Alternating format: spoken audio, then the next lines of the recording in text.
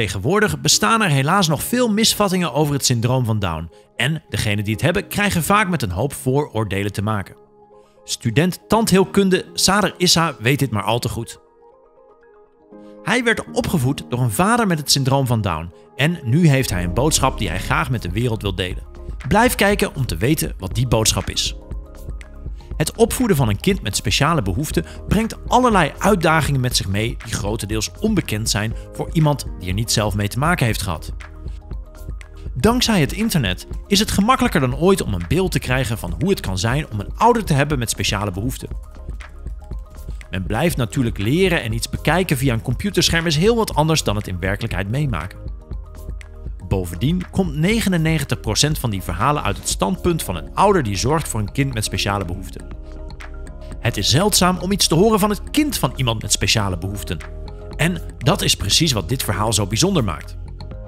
Dit is Sader Issa, een student tandheelkunde in Syrië. Hij heeft bijna 20.000 volgers op Instagram en onder elk van zijn foto's is een enorme lijst met mooie en hartverwarmende reacties te vinden. In zijn Instagram-bio beschrijft hij zichzelf trots als een voorvechter van het syndroom van Down en legt hij uit dat hij het op wil nemen voor diegenen die niet voor zichzelf kunnen spreken. Als mensen zo zorgzaam blijken te zijn, is dat meestal een teken dat ze zijn opgevoed door liefhebbende ouders. En dat is hier zeker het geval. Sader heeft het geluk te zijn opgevoed door twee ongelooflijke ouders.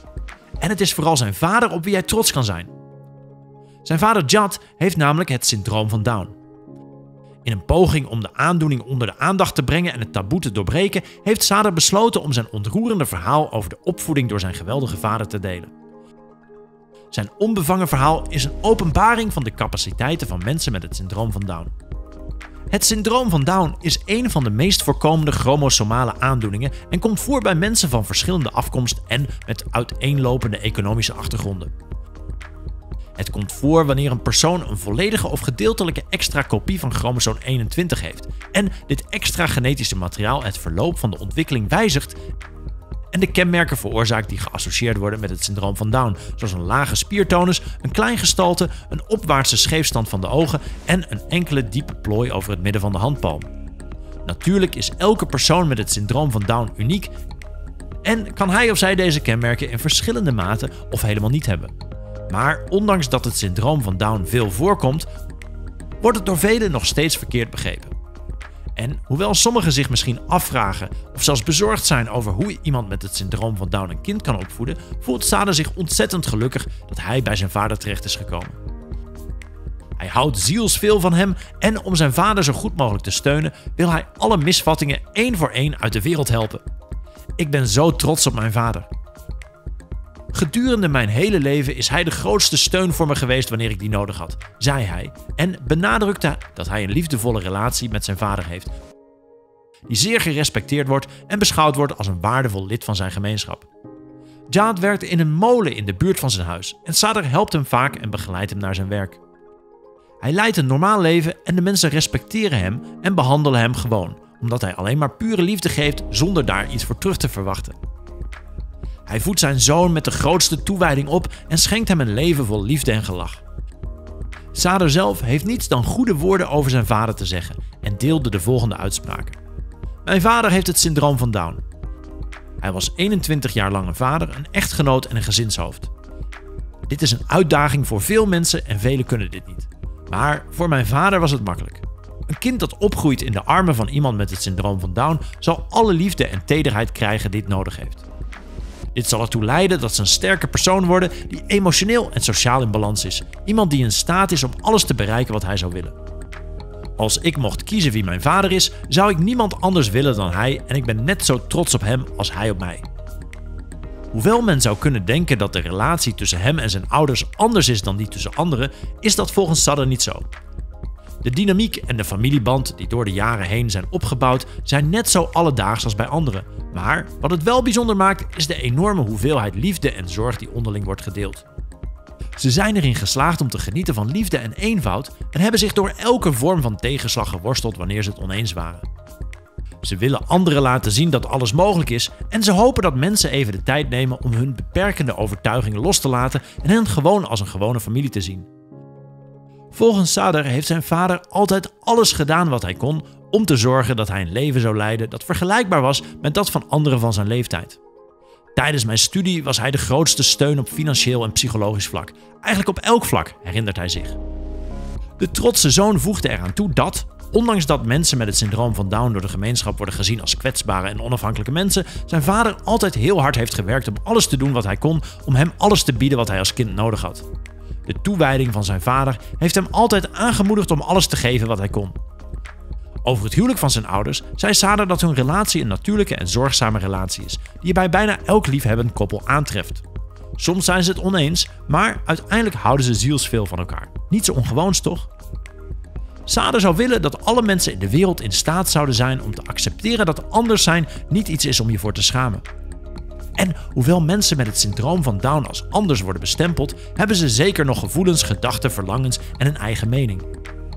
Ze zijn in staat een normaal leven te leiden zolang er maar sociale aanvaarding is en een maatschappij die hen steunt.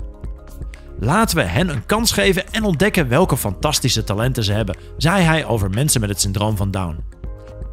Het klopt dat mensen met het syndroom van Down een verhoogd risico hebben op bepaalde medische aandoeningen, zoals aangeboren hartafwijkingen, ademhalings- en gehoorproblemen, de ziekte van Alzheimer, leukemie bij kinderen en schildklieraandoeningen. Veel van deze aandoeningen zijn tegenwoordig goed te behandelen, zodat de meeste mensen met het syndroom van Down een gezond en lang leven leiden. De levensverwachting van mensen met het syndroom van Down is de afgelopen decennia zelfs enorm toegenomen. Van 25 in 1983 tot 60 nu. Tegenwoordig gaan mensen met het syndroom van Down naar school, hebben werk en dragen op allerlei manieren bij aan de maatschappij. Elke persoon met het syndroom van Down ondervindt cognitieve achterstand, maar het effect is meestal maar matig en niet kenmerkend voor de vele sterke eigenschappen en talenten die elk individu bezit. En de omgeving speelt hier een veel grotere rol in. Kwalitatief goede onderwijsprogramma's, een stimulerende thuisomgeving, goede gezondheidszorg en positieve steun van familie, vrienden en de gemeenschap stellen mensen met het syndroom van Down in staat om hun volledige potentieel te ontwikkelen en een bevredigend leven te leiden. De National Down Syndrome Society of NDSS zegt hierover: Mensen met het syndroom van Down lijken meer op hun typische leeftijdsgenoten dan dat ze anders zijn. Ze doen er langer over om belangrijke doelen te bereiken als ze jong zijn, maar ze bereiken ze wel. Ze hebben gevoelens en emoties en ze willen met respect behandeld worden. De NDSS stelt ook dat er tot nu toe heel weinig gevallen zijn van vaders met het syndroom van Down. Het verhaal van Sader Isa is nogal ongewoon in die zin dat het eigenlijk vrij zeldzaam is voor mannen met het syndroom van Down om kinderen te krijgen. Er wordt aangenomen dat dit komt door onvruchtbaarheid, maar volgens de NDSS heeft dit lage percentage vaak niet te maken met het feit dat mannen onvruchtbaar zijn, maar met hun gebrek aan kennis over voortplanting. En hoewel vrouwen met het syndroom van Down wel zwanger kunnen worden, gebeurt dit ook niet vaak. Het verhaal van Sadr is niet alleen ongewoon, maar ook hartverwarmend mooi. Het meest ontroerende aan het verhaal is dat Jad trots is op de wens van zijn zoon om tandarts te worden. Hij is ongelooflijk trots op Sadr en alles wat hij heeft bereikt. En dat is iets wat hij zijn zoon zeker laat weten. Een van de dingen waar ik trots op ben, is wanneer hij me voor het eerst aan een nieuw persoon voorstelt. En hij zegt: Mijn zoon is dokter. Je merkt dat zijn ogen gevuld zijn met vreugde, trots en tevredenheid. Alsof hij wil zeggen: Ja, ik heb het syndroom van Down, maar ik heb deze jongeman opgevoed en alles gedaan wat ik kon om hem dokter te laten worden en anderen te helpen, zei Sader. Over de onrechtvaardige kijk van de maatschappij op mensen met het syndroom van Down zei Sader het volgende. Voor veel mensen kan het idee van een zwangere vrouw met een baby met het syndroom van Down gezien worden als een slecht scenario. Zoals in elke situatie in het leven zijn er mogelijkheden en in dit geval zijn er maar twee. Wachten en verantwoordelijkheid nemen of het idee om een kind met die aandoening te krijgen laten varen. Sommigen zouden inderdaad hun toevlucht kunnen nemen tot abortus. Maar als mijn grootmoeder overtuigd was van dat idee, zou ik hier vandaag niet zijn om mijn ongelofelijke verhaal te vertellen. De steun en liefde die je als kind krijgt van je ouders is een van de belangrijkste dingen in je leven. Maar kan je je voorstellen hoe het zou zijn als één of allebei je ouders het syndroom van Down hebben? Nou, zoals Sadder aantoont, is opgroeien onder deze omstandigheden eigenlijk helemaal niet zo slecht. Het klinkt bijna als een ideale situatie. Wat een schitterend verhaal. Zijn er misvattingen die je misschien had over mensen met het syndroom van Down die door deze video uit de wereld zijn geholpen? Of ken je misvattingen die je uit de wereld zou willen helpen? Deel ze in de comments. Ik ben heel benieuwd om ze te lezen en wie weet kan jij een van je mede-YouTubers het een en ander leren. Tot morgen voor de volgende video.